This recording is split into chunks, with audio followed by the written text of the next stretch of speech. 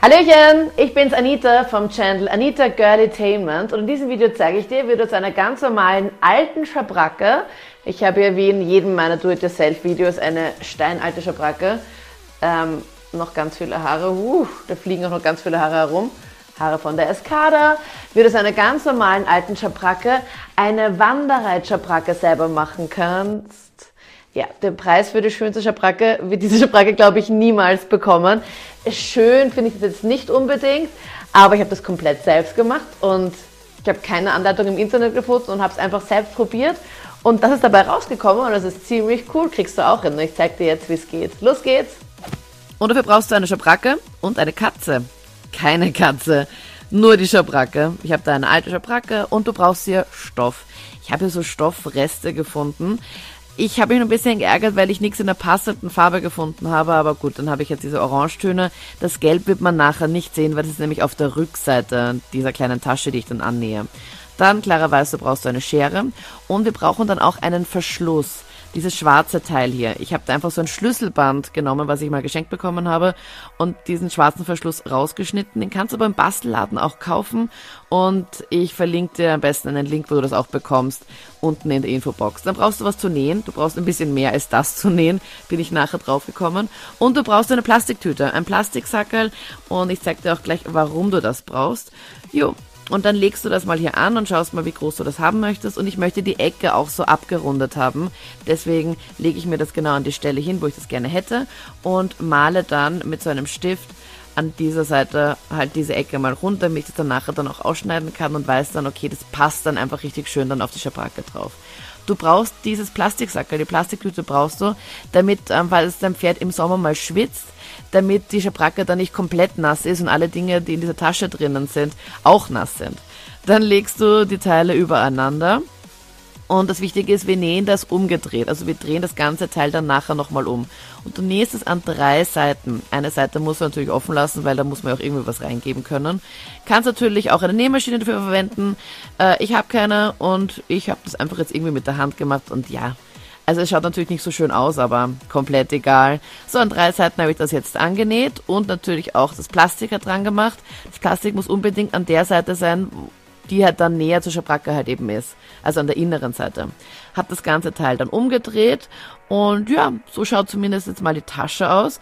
wir brauchen halt jetzt noch irgendwie äh, einen Deckel, unter Anführungszeichen. Da habe ich diesen anderen Stoff jetzt gewählt und jetzt versuche ich das irgendwie so dran zu legen, wie das halt da am besten passt. Ich habe da jetzt kein Schnittmuster oder sonst irgendwas. Ich habe da einfach nur rumprobiert, wie du siehst. Und auch das mit dem Verschluss hat irgendwie gecheckt.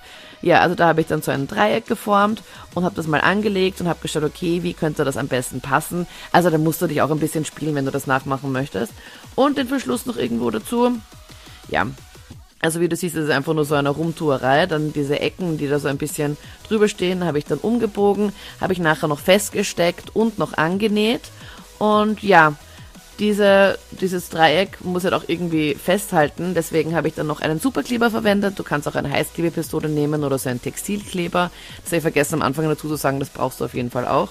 Ähm, du kannst es auch annähen, aber ich wusste dann nicht, ob man dann nicht dann auch diese Naht dann irgendwie sieht. Und nachdem ich sehr unordentlich nähe, habe ich das einfach angeklebt. Und es hält aber auch wirklich gut. Also das funktioniert auch echt gut. Superkleber, ich liebe dich.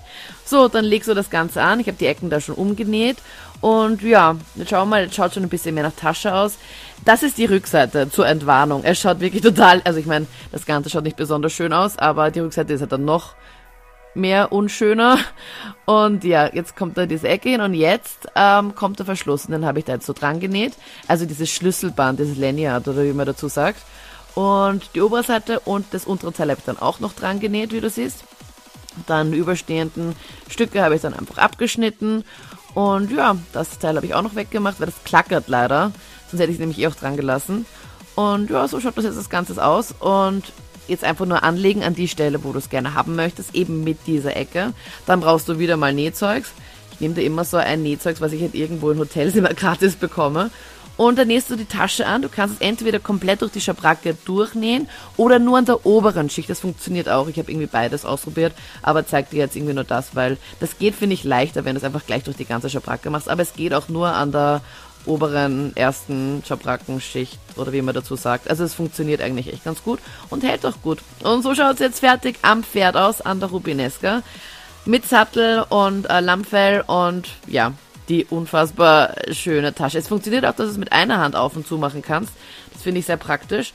Und ich habe da jetzt einfach mal äh, testweise mein Handy reingegeben. Ich empfehle dir nicht, das Handy reinzugeben, weil wenn du mal runterfliegst beim Ausreiten, Pferd weg und Handy weg. Also, meh, weiß ich nicht. Aber halt, wenn du was Kleines reingeben möchtest, Capri-Sonne oder irgendwas zum Trinken oder sowas im Sommer, glaube ich, ist das gar nicht so schlecht.